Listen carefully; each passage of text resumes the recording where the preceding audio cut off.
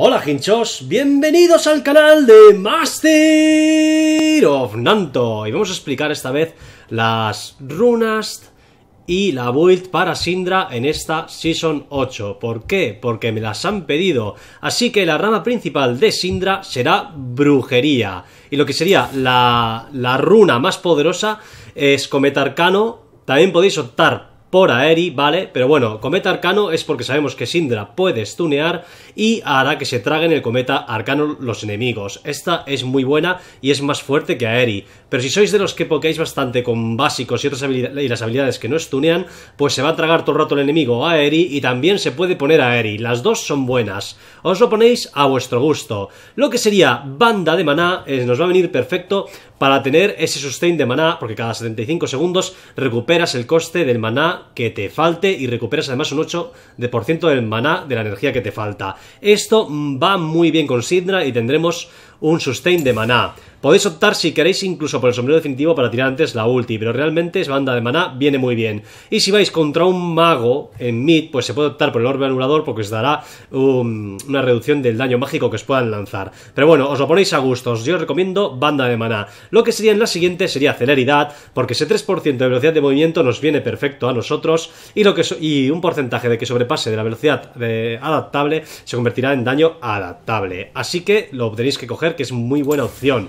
Eh, si sois muy buenos con Sindra podéis optar por concentración absoluta, que tampoco es mala idea. Y trascendencia, si vais a reducción de enfriamiento, también se puede mirar. Pero bueno, yo creo que celeridad le viene muy bien en el caso de Sindra.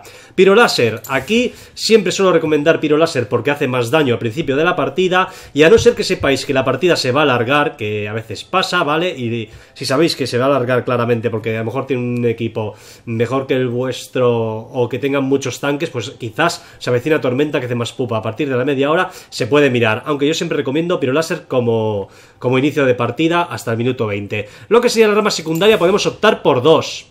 O por precisión o por inspiración. Si cogemos inspiración sería calzado mágico porque hará sinergia con lo que hemos dicho de celeridad y además de que te dan unas botas gratis a partir del minuto 10 y que corren un poquito más que las normales, que nos viene perfecto y son gratis, claro.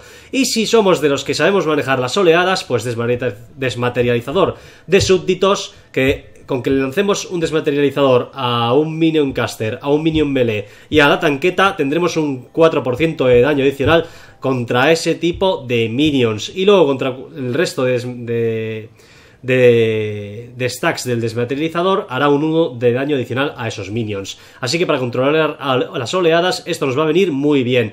Ahora, si no queréis esto y queréis precisión, os vamos a recomendar claridad mental, porque cuando subamos de nivel tendremos 7 segundos, ¿vale? Que todo el maná que gastemos se nos restaurará por completo. Subimos de nivel y tenemos 7 segundos para lanzar todos nuestros hechizos que no se va a gastar maná. Así que esto viene muy bien con Sindra. Y lo que sería la última sería golpe de gracia porque infliges un 7% más de daño a los campeones que estén por debajo del 40% de vida. Además, los asesinatos o asistencias nos darán bonificación adaptable.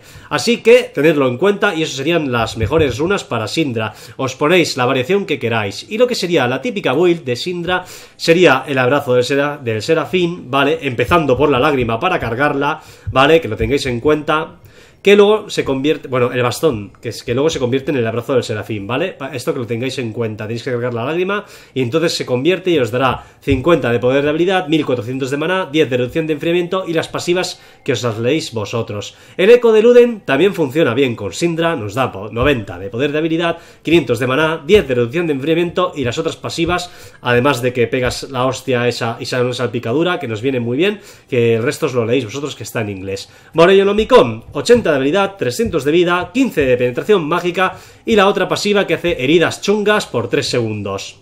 En caso de que nos enfrentemos contra tanques, pues esta nos vendría bien porque el bastón del vacío nos da a 70 de habilidad y 40% extra de penetración mágica. Luego, si, vamos por delante en la partida y queremos machacar, pues mira, Rabadon, 120 de poder de habilidad y un 40% extra de nuestro poder de habilidad total. ¿Y esto qué pasa? Pues esto es muy buena opción cuando tengamos ya un montón de AP para fundir más todavía. Si queremos bursteo, pues nos va a venir muy bien el Spellbinder, bueno, como... Eh, ¿Cómo se llama? Orbe, eh, el orbe, ¿no? Este que se llama, que son 100 de habilidad, 10 de, de velocidad de movimiento y las pasivas esas que os leéis, pero que os dan unas cargas mientras estáis en combate, que cuando las activáis corréis más y hacéis más daño de habilidad. Así que con esto tenéis más, más bursteo y corréis más rápido. Hay gente que prefiere cogerse a lo mejor otro tipo de ítems, por ejemplo, se puede coger el, el relay junto con el junto con la máscara. Esta, vale, exactamente, el tormento de Liandri, ¿vale?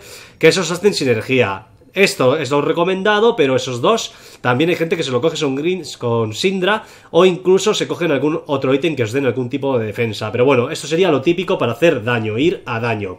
Los hechizos de invocador serían Flash, con limpiar, por ejemplo, en mid, porque os limpia cualquier stun que os lance cualquier, enemigo, o si no, con, con, vida, porque os curará en algún caso clave. También se puede llevar con prender, el flash con prender, porque si sois muy buenos con Sindra y queréis la primera kill, pues bueno, prender es muy buena opción también. Estos serían los típicos hechizos de invocador, pero si estáis probando Sindra, pues igual recomiendo por primera vez llevar el teleport, ¿vale? Para volver rápido a línea, aunque siendo la línea de mid, volvéis rápido andando, ¿vale? Esto es lo más recomendado. Y lo que serían las típicas botas serían las de hechicero, porque nos dan 18 de penetración mágica, además de la velocidad de movimiento, que es lo normal con Sindra, pero en casos concretos donde haya muchos enemigos que tengan mucho CC, pues podéis coger las de resistencia mágica, balas de mercurio, que además os dan un 30% de tenacidad y 25 de resistencia mágica, ¿vale? El 30 de tenacidad va muy bien para quitaros de encima antes los retrasos mentales de los enemigos. Y bueno, hinchos, como esto es lo típico y que se utiliza con Sindra, ¿vale? Solo que si el, equipo enemigo son Full AD, podéis optar incluso por Tabi de Ninja, ¿vale? Eso ya a vuestro gusto.